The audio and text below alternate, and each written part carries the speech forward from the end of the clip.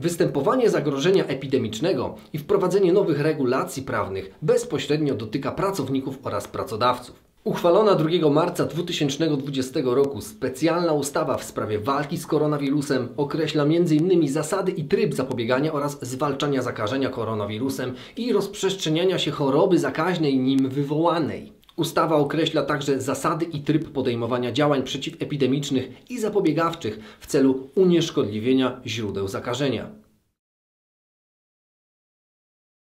W pierwszej kolejności wskazuje, że pracodawca zyskał nowe uprawnienie i może polecić pracownikowi wykonywanie obowiązków pracowniczych w formie pracy zdalnej, czyli w domu. Pracownik nie ma wyboru i musi dostosować się do polecenia pracodawcy. Jego wynagrodzenie nie ulega jednak zmianie. Niedługo po wejściu w życie wspomnianej ustawy podjęto decyzję o zamknięciu placówek oświatowych. W takiej sytuacji rodzicowi zwolnionemu od wykonywania pracy z powodu konieczności osobistego sprawowania opieki nad dzieckiem do ukończenia ósmego roku życia przysługuje dodatkowy zasiłek opiekuńczy za okres nie dłuższy niż 14 dni. Aby otrzymać ten zasiłek, należy złożyć odpowiednie oświadczenie pracodawcy.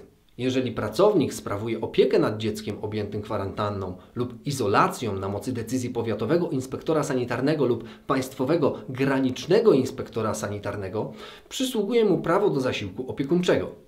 W sytuacji, gdy pracodawca musi zamknąć zakład pracy lub gdy nie ma możliwości polecenia pracy zdalnej pracownikowi za czas niewykonywania pracy, jeśli był gotów do jej wykonywania, a doznał przeszkód z przyczyn dotyczących pracodawcy, przysługuje wynagrodzenie wynikające z jego osobistego zaszeregowania, określonego stawką godzinową lub miesięczną.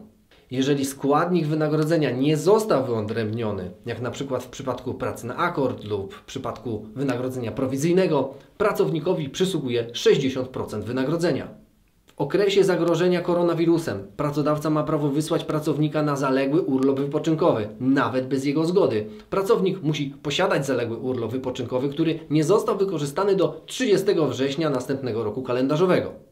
Jeśli pracownik nie stawił się w pracy z powodu choroby, wówczas przysługuje mu wynagrodzenie, a następnie zasiłek chorobowy.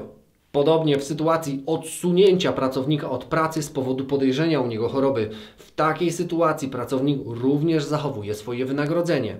Jeżeli pracownik został poddany kwarantannie lub izolacji na mocy decyzji państwowego inspektora sanitarnego lub państwowego granicznego inspektora sanitarnego, wówczas przysługuje mu wynagrodzenie, a następnie zasiłek chorobowy.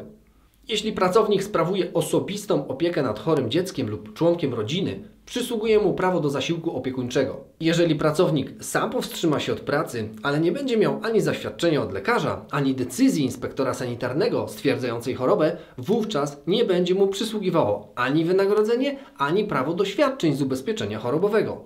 W sytuacji, jeśli pracownik został zwolniony z obowiązku świadczenia pracy, również zachowuje on prawo do wynagrodzenia. Pamiętajmy jednak, że taka sytuacja może wystąpić wyłącznie w razie wypowiedzenia umowy o pracę. Dziękuję za uwagę. Zapraszam do komentowania oraz oglądania innych moich publikacji na kanale Edukacja Prawna. Do zobaczenia.